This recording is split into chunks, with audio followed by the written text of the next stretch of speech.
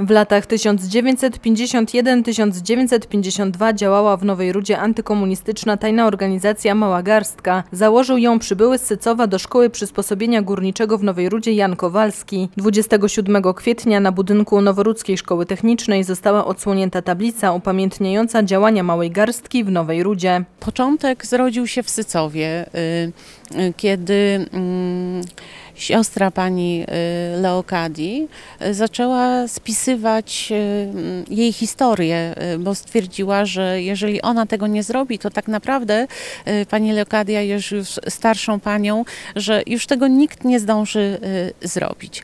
I pani Leokadia w swoich wspomnieniach opowiedziała, że w Nowej Rudzie w szkole przysposobienia górniczego działali również jej koledzy, między innymi założyciel Małej Garski, pan Jan Kowalski. My nie mieliśmy takiej wiedzy przedtem, że tutaj na ziemiach noworudzkich takie rzeczy miały miejsce. W szkole mamy niewiele dokumentów, można powiedzieć, że prawie w ogóle, bo, bo ten ślad po nich został zatarty wraz z ich aresztowaniem. IPN badając sprawę, mając dostęp do różnych dokumentów, dotarł do, do informacji, że ta grupa w Nowej Rudzie była zdecydowanie większa i najpierw taka y, y, tablica pamiątkowa została odsłonięta w Sycowie.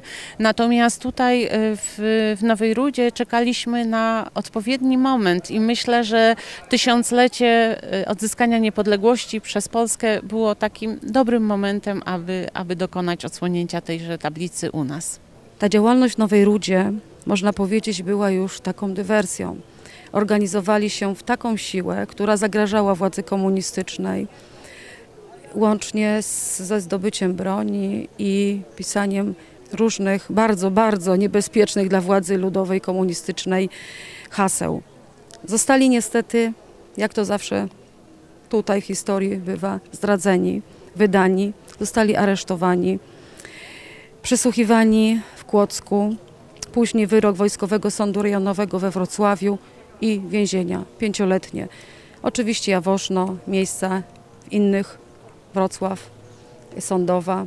To wydarzenie dzisiaj w tym miejscu po 68 latach to tak naprawdę wołanie o prawdę, o fundament, o budowę niepodległej Rzeczypospolitej, bo można ją budować tylko na prawdzie. Tablicę odsłoniła ostatnia żyjąca członkini Małej Garstki Leokadia Marynka wspólnie z ministrem edukacji narodowej Anną Zalewską. Miałam takie wątpliwości, czy mnie przyjmiecie, czy, czy bo to taki zawsze byłam tym wrogiem władzy ludowej, tą, jak to, tą, tą sanacyjną, tą zaplutym karłem sanacji. Jaki był za mnie karał? Karzał, jak ja miałam 4 lata, jak wojna wybuchła, 6 lat okupacji i później 48 szósty, siódmy i dziewiąty już zdjęto krzyże ze szkoły. Ja te krzyże spalono na boisku. I zaczęło się Katyń to Niemcy. Mieliśmy 15 lat. To było tak, że Katyń to, to, to raczej nie... Katyń to, to na ulotce był Katyń to ruskie, że to Niemcy zrobili. A my przecież stamtąd przyjechaliśmy. W Katyniu zginęło dwóch wujków i brat ojca. Babcie Bałam się, ale, ale, ale zawsze, mm, zawsze byłam uczona, że prawda nas wyzwoli. Musi być prawda. Nie może być inaczej. Przecież my, rodzice nam codziennie powtarzali. Był to również dzień zakończenia roku szkolnego klas maturalnych. Najlepsi uczniowie zostali wyróżnieni podczas uroczystości, otrzymując świadectwa oraz nagrody z rąk ministra edukacji narodowej. W uroczystości wziął także udział dolnośląski kurator oświaty Roman Kowalczyk. Dzisiaj zbiegły się dwie ważne okoliczności. Zakończył się rok szkolny, maturzyści idą w świat, zrywają się do lotu, w dorosłość, dojrzałość, samodzielność. No i drugie to jest odsłonięcie tablicy pamiątkowej dokumentujące, trzeba powiedzieć, heroizm, bo to przecież w latach stalinowskich pięciu nastolatków zdecydowało się spiskować przeciwko komunistycznej władzy w imię Polski niepodległej. To doprawdy niezwykłe i tablica zawisła.